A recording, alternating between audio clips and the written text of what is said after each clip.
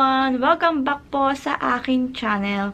My name is Bethany and today meron na naman po tayong bagong topic tungkol po sa mga iba't ibang klase ng ugali ng Pinoy sa trabaho dito sa Taiwan. But before po tayo mag-start, gusto ko lang po sanang mag-thank you sa lahat po ng mga nakapanood na ng mga previous video ko and I hope nakatulong po yun sa inyo sa pagka-apply dito sa Taiwan. Um, today, ang isi-share ko po sa inyo is base po sa mga na-experience ko habang po ako ay nagtatrabaho dito sa Taiwan. Okay, let's start po sa mga iba't ibang klase ng Pinoy sa trabaho dito sa Taiwan. Pinoy number one. Ito po yung Pinoy number one na mahilig gumawa ng kwento na hindi naman totoo pagkaharap mo ay mabait sa'yo. Yan si Pinoy number 1. Pinoy number 2. Itong Pinoy number 2 na to, ito yung mahilig sumipsip sa mga boss para magkaroon ng maraming overtime. Guys, hindi po natin kailangan yon para lang mas maging mataas tayo.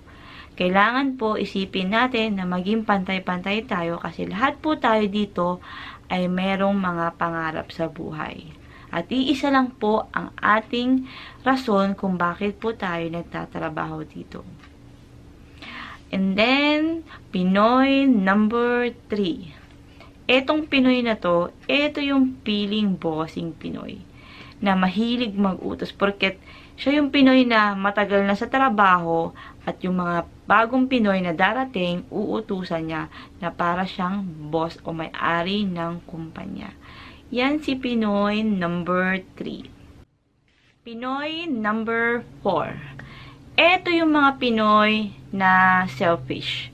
Selfish kasi, uh, for example, meron silang bagong estudyante or tuturuan hindi po nila ituturo lahat ng mga idea or information na alam nila kasi ayaw po nilang masapawan. Yan po si Pinoy number 4. Guys, ah, uh, pag po meron pong mga bago, uh, wag na po tayong magdamot or mag, uh, maging selfish sa pag-share ng mga idea para sa kanila. Kasi hindi naman po habang buhay uh, nandito tayo sa Taiwan. Yung mga information at mga idea na ma-share po natin sa kanila, isa na rin po yung tulong para matupad din po yung mga pangarap nila, katulad ng mga pangarap mo.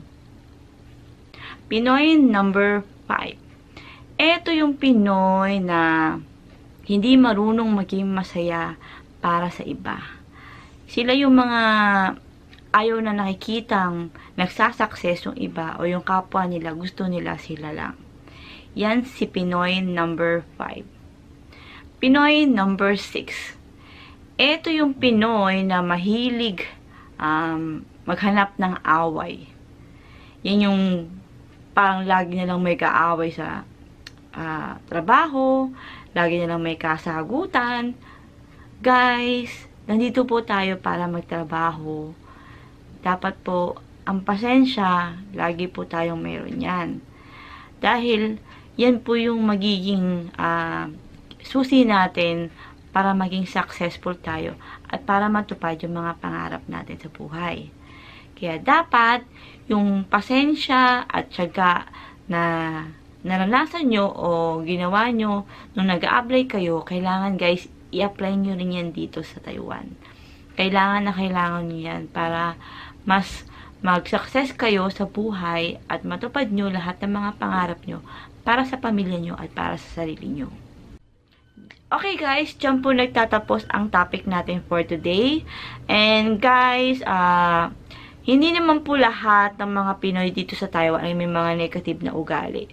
Marami, mas marami pa rin po ang mga mas positive at magaganda yung mga attitude pagdating sa trabaho uh, marami pa rin po kayo magiging kaibigan at magiging uh, maaasahan dito sa Taiwan. Uh, swerte po ako at sa aking pitong taon na pagtatrabaho dito, kahit po marami akong na-experience na ganong klase ng mga katrabaho, mas marami pa rin po akong maging, naging kaibigan dito. At naasahan ko po sila at na, naasahan ko po sila sa lahat ng bagay na ako po ay nag, nagtatrabaho dito sa Taiwan. Uh, guys, good luck po sa inyo and sana uh, nakatulong po yun sa inyo, lalo-lalo na po sa mga first-timer. Yung magiging pasensya nyo po at yung pagiging tiyaga, patyaga nyo na uh, ginawa nyo sa Pilipinas nung nag-a-apply kayo, i-apply nyo pa rin po yan dito sa Taiwan. Kasi yan po yung magiging susi para matupad yung mga pangarap nyo sa buhay, para sa pamilya, at para po sa sarili nyo. And thank you po for watching guys. Good luck po sa pag-apply and I hope nakatulong po ako uli at nakapagbigay ako ng idea and information sa inyo. And Uh, thank you for watching. If you have any comments, just comment down below. And para po ma-update kayo sa aking latest video, just click subscribe and the notification bell. Thank you for watching. Bye!